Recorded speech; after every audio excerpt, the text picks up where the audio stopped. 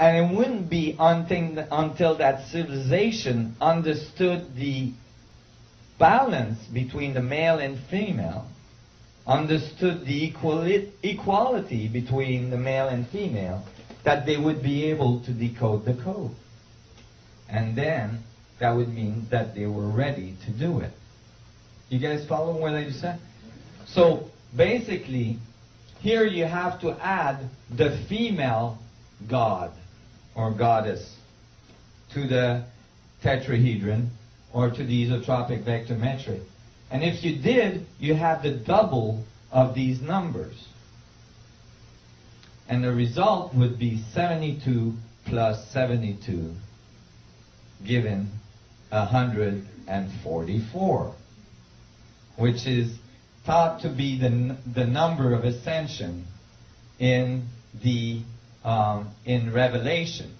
As well in Revelation it says that the New Jerusalem is a crystal city with rainbows all around it. And that that crystal city has faces of 144. There is exactly 144 faces on the outside of a 64 tetrahedron matrix. nice. I thought I was onto it. And so I kept on reading the Bible, and I'm I got really interested now, you know. and I'm like, oh my God, this is all about the technology. This is all about Atlantis.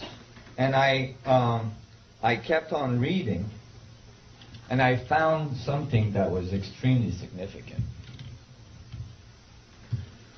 And this has been completely omitted by scholars. This is long after, you know, Moses was following the ark through the, through, through the desert. It took him 40 years to do a route that usually took only a year. Okay?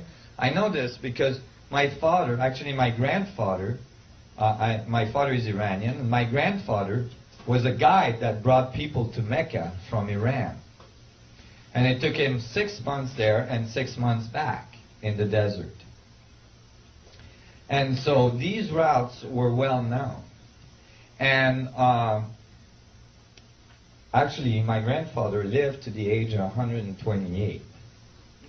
And uh, I believe that it's because he went to Mecca, to the Kaaba, which held the black crystal, the dark stone, or the black sun, as described by the Sumerian plates, given to man by the sun gods. But in any case, Moses is taking 40 years to take a, to do a route that should have taken a year. Why? Because he's following the ark. It's very clear in the Judaic tradition and in the rabbinic tradition that the ark is moving on its own. On its own. Whenever the ark lifts and starts going, they would lift camp and follow it. And whenever the ark would stop, they would stop and put a camp up. Sometimes they would stay there for three, four years before the ark would start going again. So this ark seemed to have anti-gravitic capability. It seemed to be able to hover. There's instances where they describe the ark lifting the high priest that carried it. So I'm, I'm, I'm thinking about all this, and then eventually, you know, Moses dies, and um, and Joshua is has taken the lead, and Joshua arrives at the Jordan, and this is where I found this really interesting thing. Joshua arrives at the Jordan, and the Jordan is running at flood level. There's no way they can cross with the tribes of Israel. They're trying to get to Jericho on the other side. So Joshua doesn't know what to do, and he asks God. And God says,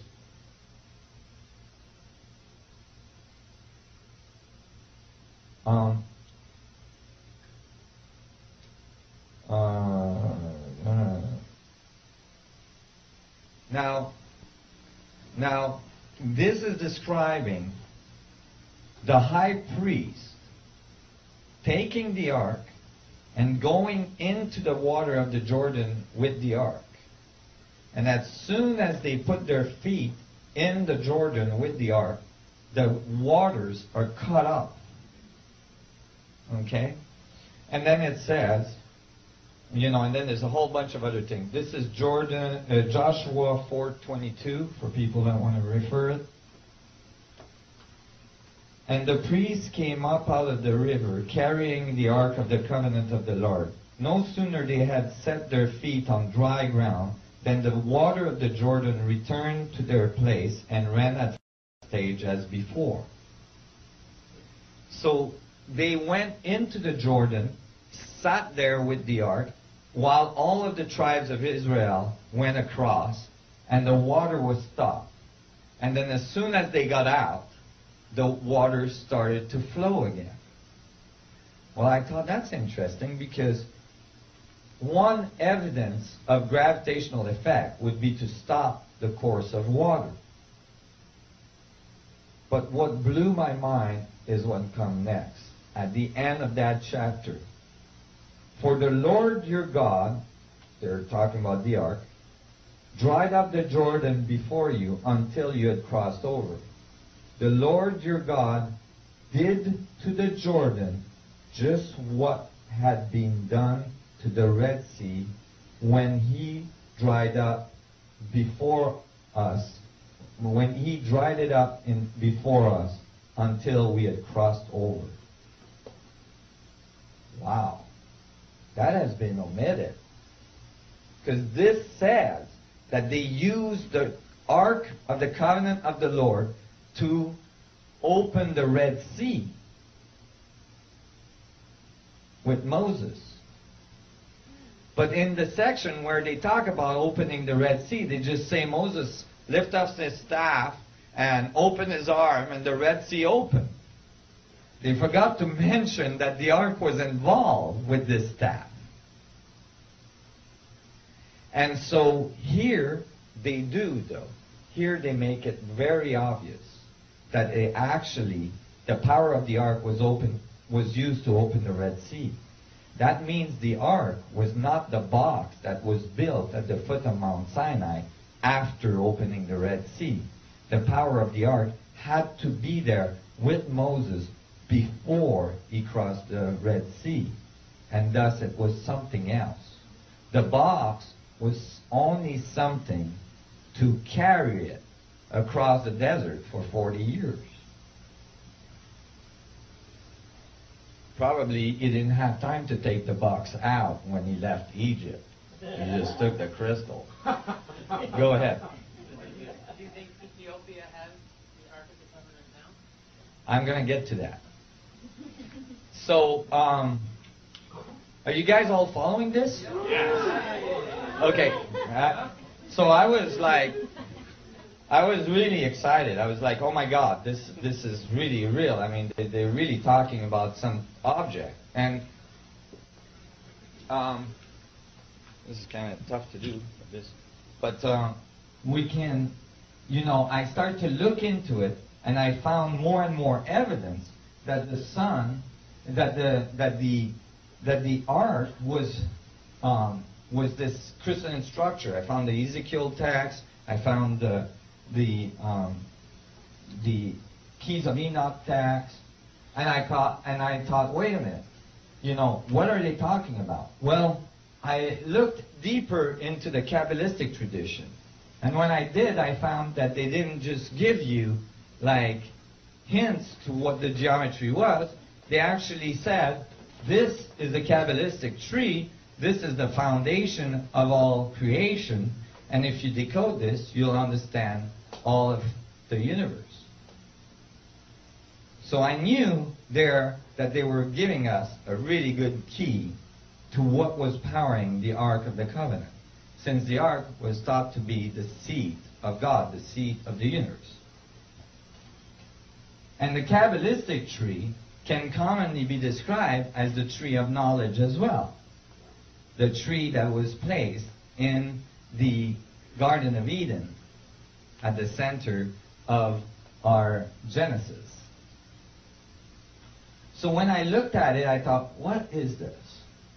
And you know, I started to read Kabbalistic tradition texts and all this. Oh my God, I got so confused. It was so confusing. There's so much stuff out there, and it's all philosophy. And I was really kind of not being able to find anything that was driving, but I was looking at the geometry, and what I did is I plastered it on the ceiling of my van so I could lay in my bed and look at it in the morning every morning. And I was trying to decode it. And really quickly, I realized that the bottom part was a tetrahedron. And that the top part was an octahedron. But I didn't know what this middle part was. This this X with a with a box around it. I, I didn't know how to deal with that. And then I realized, wait a minute, this box here, this rectangle, fits in this upper rectangle. So I thought, oh, maybe they just took it and squashed it. So I took the top part and slid the bottom into it. And boom, the result was a tetrahedron and an octahedron on top, which is all of the vertices you need to generate the star tetrahedron with the octahedron in the middle. You guys see this?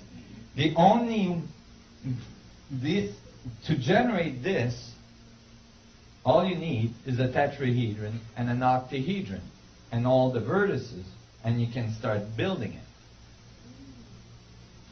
So I was like, oh, this is cool.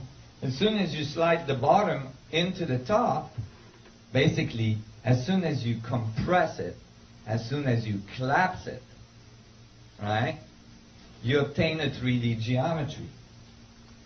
And then I realized that the Kabbalistic text said that there wasn't just one tree, but that there's four, and that they're attached at the crown or at the root. Well, I assumed that they were giving us only half the code again. So that there would be eight trees attached at the root. Well, if there is eight trees attached at the root, at the root, and each one are decoded to give a star tetrahedron as we just did, then the result is 64 tetrahedron grid. How do you know you've decoded it right? Well, when you're finished, you can actually plot the two-dimensional tree right on top of it, and you have all the lines you need with its sephiroths. The sephiroths are these balls on the corner of the tree. The, the, the word sephiroth comes from the word sapphire, referring to crystals.